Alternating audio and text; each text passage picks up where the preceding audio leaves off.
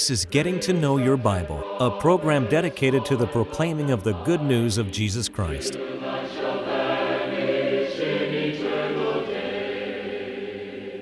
Here's Billy Lambert. A very dear friend of mine has tinnitus, that is, a ringing in the ear or in your head. I have that as well. And she and I joke sometime. I told her one day, I said, you know, that ringing that we hear in our heads, well, that's aliens trying to contact us. And we laugh about that. Uh, just suppose there are aliens in space. Can you imagine their confusion if they were to come to Earth and begin to see all of the different divisions in so called Christianity that exist today? I have an idea they would be confused. But we want to talk about unity today. We're going to be talking not about division today. We want to talk about Jesus' prayer for unity. Please stay tuned. I'm Billy Lambert, and I want to thank you for tuning in today, especially if this is your first time to see Getting to Know Your Bible.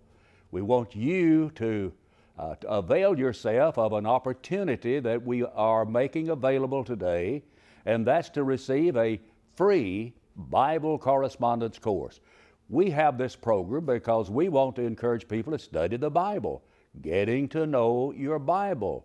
And so this Bible course will enable you to study the Bible on your own, at your own speed, in the privacy of your home that you might know more about the course, how you can study this course, let's pause for just a moment.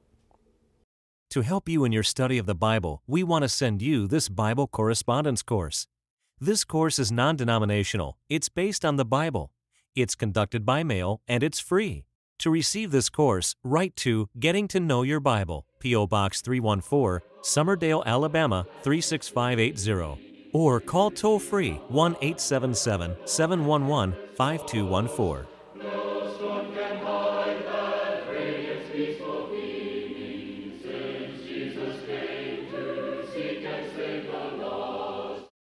The 17th chapter of John's Gospel is a prayer of our Lord. He's talking to his Father in heaven. I'd like to read just two passages from that prayer from John chapter 17.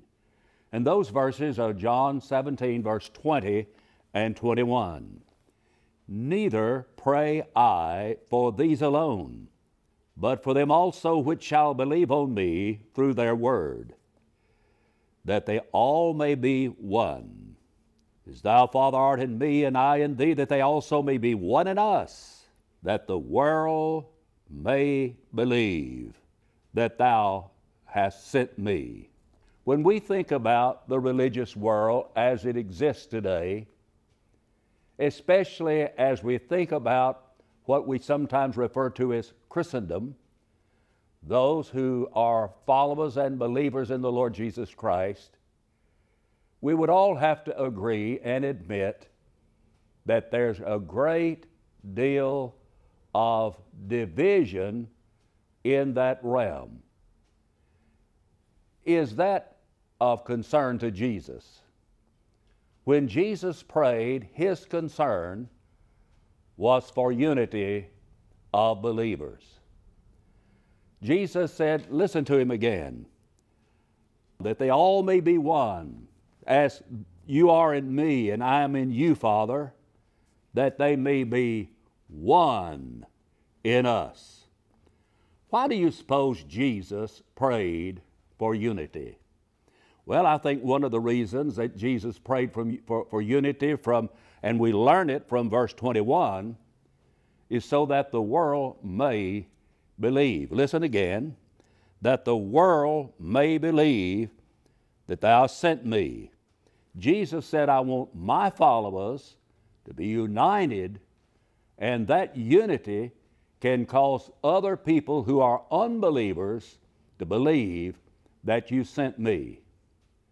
I've often thought that, that the religious division that exists in our world today, with so many different churches, is a contributing factor to cause people to not believe. I've actually had many people over my years of preaching to tell me or say this to me I just don't know what to believe. And so, as a result of not knowing what to believe, with so many different ideas floating around, they just choose to go in the other direction. I believe Jesus wanted us to be united so that the world might believe. Also, I think another reason that Jesus prayed for unity is because unity glorifies God. In Romans 15 and 6, uh, there Paul wrote that with one mind and one mouth you may glorify God, the Father of our Lord Jesus Christ. Unity glorifies God. It, it causes people to focus their attention upon God. And it unity gives God the glory and the praise that He deserves. I think another reason that Jesus prayed for unity is because of God's attitude toward division. You know, in Proverbs, the sixth chapter, he talked about the seven things that are an abomination to God. One of those things that was an abomination to God are those that sow discord, that is, division, among brethren. God does not like division. I think a fourth reason I want to suggest that Jesus prayed for unity because unity is good for us. Now, I want to read a passage to you from the Old Testament, some Psalms 133 and verse number 1. Behold, how good and pleasant it is for brethren to dwell together in unity. You know, there are some things that are good that are not pleasant. There are some things that are pleasant that are not good. But, but we hear, learn here in this passage that it is both good and pleasant when there's unity among believers. I think I've given you four good reasons that Jesus prayed for unity. But when Jesus prayed for unity, for what kind of unity did Jesus pray? Well, notice the verses again. And in these verses, we learn that Jesus prayed for the same kind of unity that existed between He and the Father. Notice it. Verse 20 Neither pray I for these alone, but for them also which shall believe on me through their word, that they all may be one, as thou, Father, art in me, and I in thee. There's unity between the Father and the Son. And Jesus prayed that we would be one and have the same kind of unity that exists between He and the Father. Well, what, in what are they united? Well, they're united in mind. They think alike. They are united in their nature. They are both spirit beings and they are eternal in nature. They are, uh, they are one in their message. Can, can you imagine the Father teaching one thing on a particular subject, and then the Son teaches something else on that same subject that contradicts what the Father teaches. There would not be unity between Father and the Son, there would be division. They were one in their message, and they were one in their purpose. Their purpose was the salvation of the human family. When Paul, when Jesus prayed for unity, he prayed for the kind of unity that exists between he and the Father. He also prayed for the kind of unity that Paul wrote about in 1 Corinthians chapter 1 and verse number 10. There he said, Now I beseech you, brethren, by the name of the Lord Jesus Christ, that, that you all speak the same things, and that there be no divisions among you, but that you be perfectly joined together in the same mind and in the same judgment. You see, Paul is talking about unity of authority. Unity of authority. He said, Whatever you do, you do it and in the name of the Lord Jesus Christ. I am beseeching you in the name or by the authority of the Lord Jesus Christ. In Colossians 3:17, the Bible there tells us that whatever we do in word or deed, do it all in the name of the Lord Jesus Christ. And so that's that's unity in authority. Where do we get our authority? Not from an individual. We get authority from Jesus Christ, the Savior of the world, who is Lord over all. There is unity in mind. Paul said, we, Paul said that you be of the same mind, same thinking. And he said, be in the same judgment. You know, there's some things that fall into the realm of judgment or opinion, or they are expedients. And even in the realm where there are certain things that are of opinion, there should be no division over those things. It's not a doctrinal thing. Let me give you an illustration.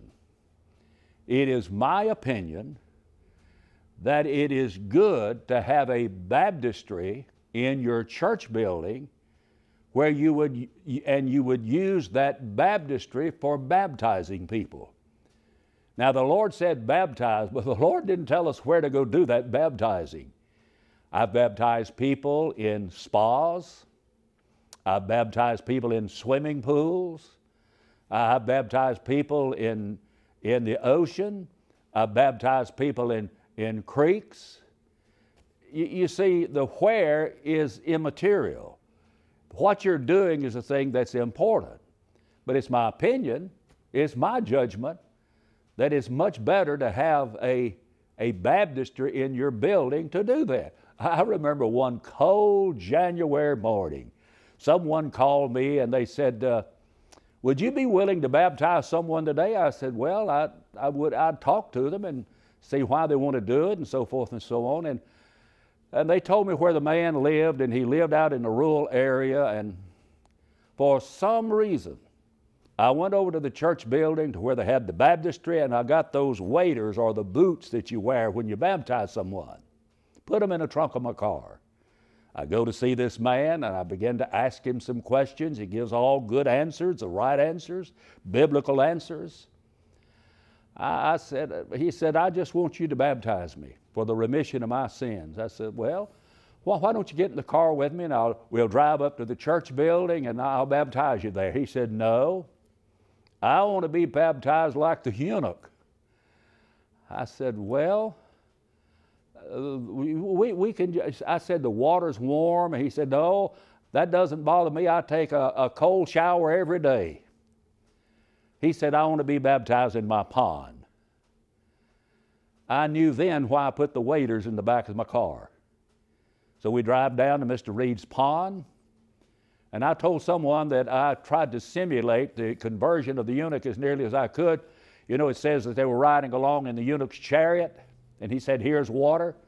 I said, We're riding along through Mr. Uh, his cow pasture. And I turned to him and I said, Do you believe that Jesus Christ is the Son of God? He said, I know He is. Yes, I believe. I said, Then I brought my car to a halt. We went down into the cow pond, both Mr. Reed and I, and we drove the cows out of the pond and I baptized him. You see, the, the, it's just my opinion rather than doing that kind of a baptizing. It's better in the church building. But when we, in matters of judgment and matters of opinion, there ought to be unity. Never divide over things like that. Paul said, Be of the same mind. Then he said, You need to speak the same things. You have unity in your message. Unity in message. I've often wondered why we could have the same Bible, believe in the same God, believe in the same Jesus, believe in the same Holy Spirit that inspired the writing of this book we call the Bible, the New Testament for us in this Christian age, and we cannot speak the same thing. Why is that? Well, one of the reasons is because we interject our own ideas, our own opinions. You see, the Bible teaches that we are to have unity. Now, we need the same kind of unity that Amos talked about in Amos, the third chapter, in verse 3. Listen to it. Can two walk together except they be agreed? Suppose you and I decided, now we're going to start walking together. And, and we're going to get up every day and we're going to get some exercise. Now, there are certain things upon which you're going to have to agree if you're going to do that. Number one, you're going to have to agree upon the day that you're going to walk. You got to have unity there. You're going to have to agree where you're going to start walking. If you don't agree on that, there's no unity. You're not walking together.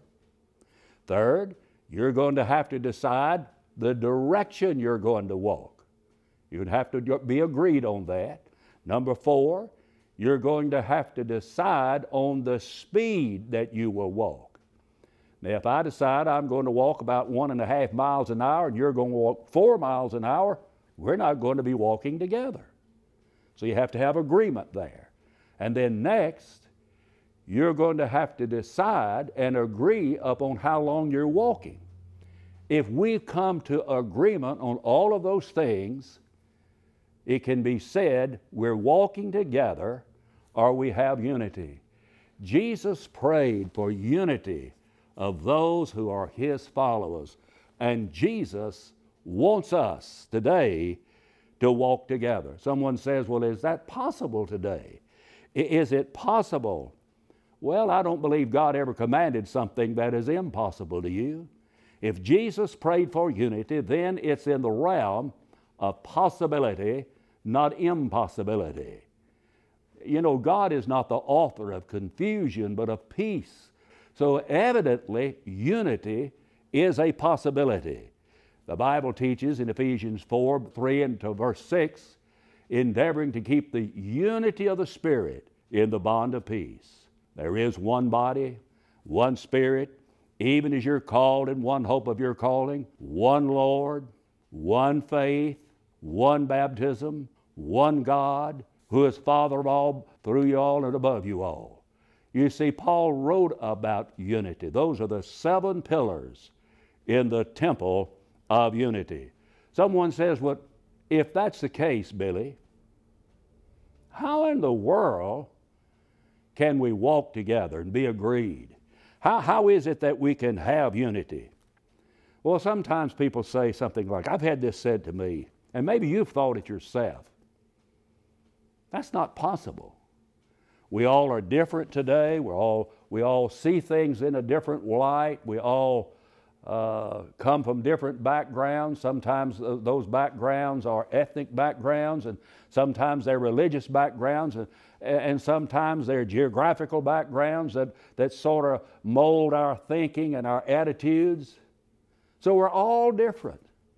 So, how is it possible that we could have unity and see things alike in the religious realm? Well, let's just think about that for a moment. Can we see things alike in any realm? Is there anything in life in which we have unity? That is, we are agreed on certain principles in those realms. Th- think about the realm of music. Now, my, my parents tried to make a, a musician out of me early on, but I'd rather play football, you see, and so that, that's really not a part of me, but I learned a few things. And I learned the notes in music. I learned that every piece of music uh, uses those same notes. Suppose you, you have a child and they're taking piano lessons wherever you might live, and Uh, just suppose you're living in California and you, you, you, you had your child taken there. They're just making such great progress with those lessons. And then you get a transfer and you've got to move to another part of the country. Let, let's just say that you're going to have to move to, oh, let's just say Mississippi. That's, that's where your job. So when you get located there in another state, you want your child to continue taking those lessons, learning how to play the piano. Now, you get a teacher, and after the very first lesson, suppose your child comes home and says, You know, that, that, that teacher I had in, in California was wrong. The teacher here in Mississippi is teaching a different note than, and notes than, than the teacher that I had in California. There, it's all different. You know there's something wrong. Because in the realm of music, whether we like classical music, country music, whatever kind of music we might like, there are certain notes that are used in all music. Now, I'm more accustomed to church music, and I, I know a little bit about the notes in, in our hymns that we sing in, in worship. But, but you see, there's unity there. We, we can have unity when you build a building. I, I remember when I was just a freshman in college that I, I told some of the upperclassmen, I said, you know, this summer we need to get out and hey, we need to evangelize somewhere. I said, let's pick out a county in the state of Alabama where there's not a Church of Christ. Let's go there. Well, we found a county, and there was not a Church of Christ there. And we, we, we borrowed a tent. And we set that tent up in this little country town. For three weeks, we stayed there, knocked on every door in that county. And there was a preacher from town who came to us and said, Boys, if you want to make any progress, you're going to have to get out of town because the people in this town aren't concerned about any kind of religion. And we, all, we, we almost came to that same conclusion. So we began to look for a place if we wanted to come back the next year where we'd put our tent. And let me tell you what we found in our exploration. We went down a little dirt road, and at the end of that dirt road, there were two church buildings one on that side of the road, one on that side of the road. Now, it was just obvious to the eye that those buildings were just exactly alike. I mean, it was uncanny. Different churches bearing different names, but the buildings were identical, almost to the T, they were identical. And I wondered about that. I wondered now, how could they have two buildings that close together, one on this side of this dirt road, one on that side of the dirt road, and they're almost identical? Somebody used somebody's plans, didn't they? You see, suppose I, that I live on the Gulf Coast of Alabama, and suppose someone said, we, we want to build a huge stadium. We want to build a coliseum on the Gulf Coast. And we want to build one like they have in New Orleans. Well, how could they duplicate that when they have in New Orleans on the Gulf Coast of Alabama? Well, they would have to find that architect. They would have to find all of the engineers and everybody that was involved in the building that dome. And if they followed the, the plans that they used there, they could duplicate that anywhere in the world. But they'd have to go by the same plans. And when we follow the Bible without interjecting our opinions, without interjecting how I feel about it, how, when, by, by interjecting my own personal thoughts into it, and just follow the Bible as it is written, without trying to make it mean what I want it to mean, we'll all speak the same thing. Does that make sense to you? I've often thought if I, if I wanted to mail a, a, a, a package. And I live in a little town called Summerdale, Alabama. It's just a little country town. I remember welcoming a man to town one day. I said, Welcome to Mayberry. I think he understood what I meant. It's that small. And I suppose I wanted to mail a, a package in Summerdale. And let, just suppose that I, I go in, I give the man the package, And he said, That's going to cost you $5.28. Suppose I think, well, now he's overcharging me. I don't really think it would cost $5.28 to mail that package. So I say, well, I thank you, and I'll, I may come back after a while. So I take my package with me, I get back in the car, and I drive up to a little town called Robertsdale. I go in the post office at Robertsdale, Alabama. I said, I'd like to mail this package. Could you tell me how much it would cost to mail? They said, $5.28. I'm not concerned with that. I, I, so I, I say, uh, I thank you. And I drive down to a town called Foley, Alabama, not far away. And I go in there and they weigh the package. I said, How much is it going to cost? $5.28. Could I ask you a question? Why would I get the same answer wherever I went? Well, he says because in the post office they have a, a scale, they have a rules to go by, they have a standard to go by, and and the, the package, if it weighs a certain amount, then everybody's going to give you the same answer. I got the same answer three times. You see, the standard you go by is what will unify us. I've often said that it's not what the Bible says that divides us, it's what it doesn't say. We just need to follow the Bible.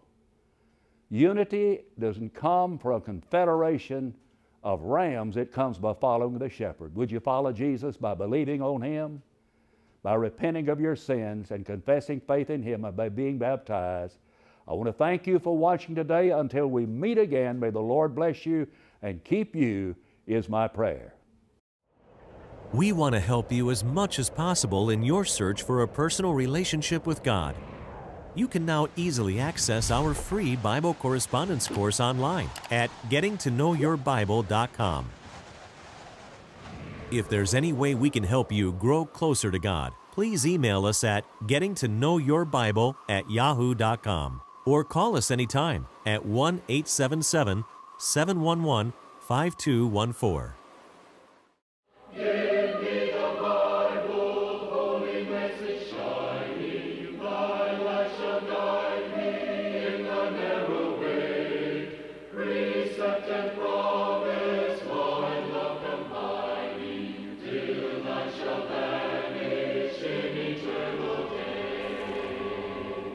Getting to Know Your Bible has been presented by Churches of Christ. If you have a question about the church, or if you would like the location of a Church of Christ near you, or to receive the free Bible course, write to Getting to Know Your Bible, P.O. Box 314, Summerdale, Alabama 36580, or call 1 877 711 5214. Join us next time for Getting to Know Your Bible.